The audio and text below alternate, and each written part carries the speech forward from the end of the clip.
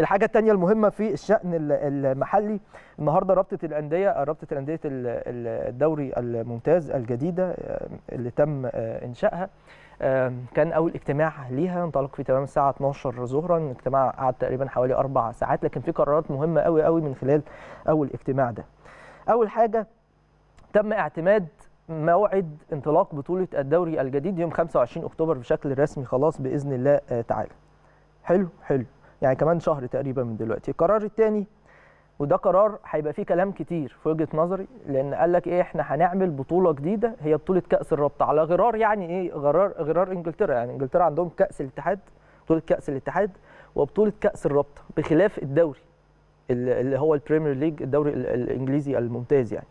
طيب قبل ما تاخد القرار ده هل أنت درست كم الارتباطات اللي عند الأندية وإحنا أصلا بنعاني من الماتشات الكتير وإن الدوري عندنا مش منتظم لأن في ارتباطات أفريقية وعالمية ومحلية ومنتخب وتصفيات وكلام من ده.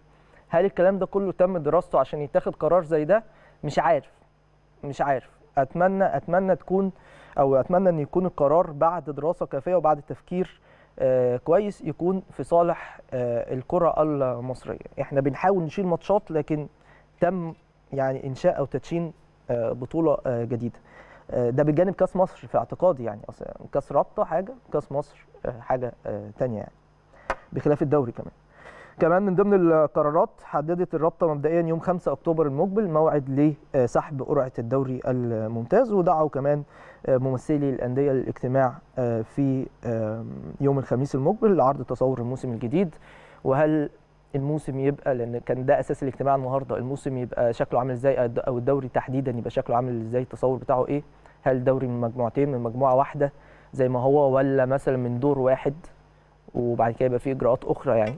فده اللي هيتم مناقشته مع ممثلي الأندية يوم الخميس المقبل عشان يتم اتخاذ القرار النهائي.